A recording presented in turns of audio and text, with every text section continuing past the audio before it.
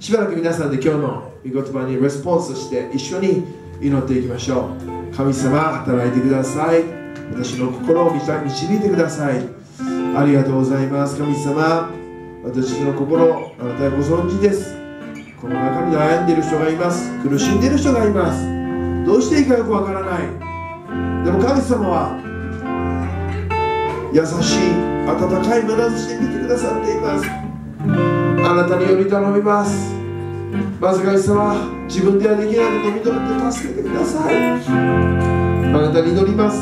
家庭の問題経済の問題健康の問題人間関係本当に難しいことがいっぱいあります。どうか私たちを助けてください。動機の純粋さを求めていくことができますように。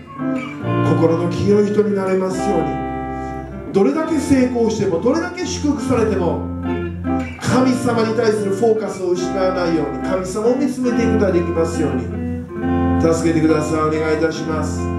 ハレルヤハレルヤありがとうございます。イエス様導いてください。私たちを満たしてください。ハレルヤありがとうございます。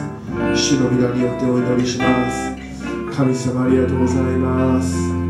イエス様ありがとうございます。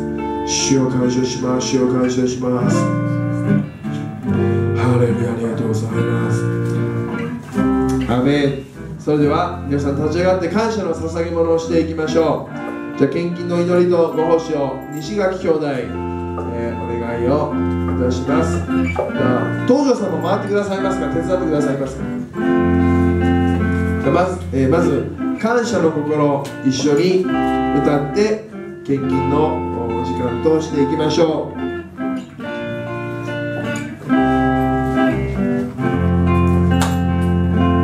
主よ感謝しますすべての恵みを心から主よ感謝します命に勝るその恵みをもちろん主を感謝します。主よ感謝しますすべての恵みを心から主よ感謝します命に勝るその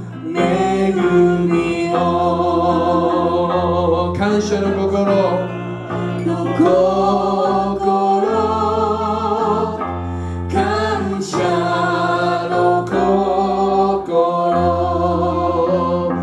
感謝の心。感謝の心。もちろん感謝の心。感謝